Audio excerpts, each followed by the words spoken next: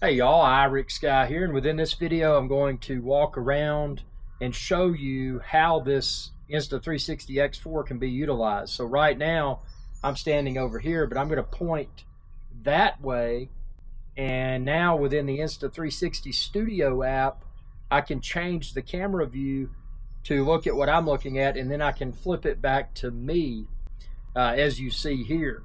Now I'm going to walk around and if I want to track myself I can use the Insta360 Studio app to track a uh, subject, in this case me.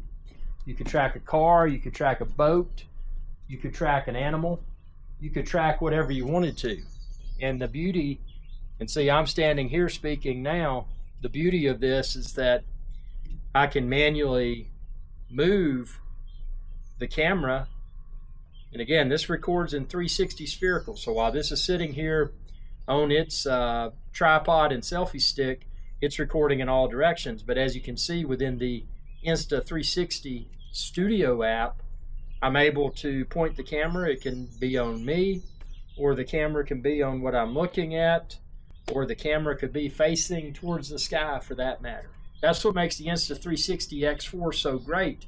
It's like having multiple cameras but since it films natively in 8K Ultra HD, the image quality is mind blowing.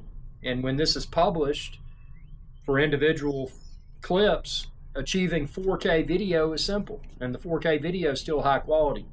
So why pack multiple cameras when you can take one of these Insta360 X4s, film in all directions, and then edit and post like I'm doing now? Super simple. Be sure to subscribe, ring that bell, and check out all of my Insta360 X4 videos. And you can find the X4, the accessories, everything that I use, expand this video's description, and then click the links there. Thanks for your viewership, and y'all have a good day. Hey y'all, IrixGuy here. I hope you enjoyed this video, and please be sure to subscribe to my channel, and when you do, ring that bell icon to be notified whenever I post another video. Thanks for your viewership, and y'all have a good day.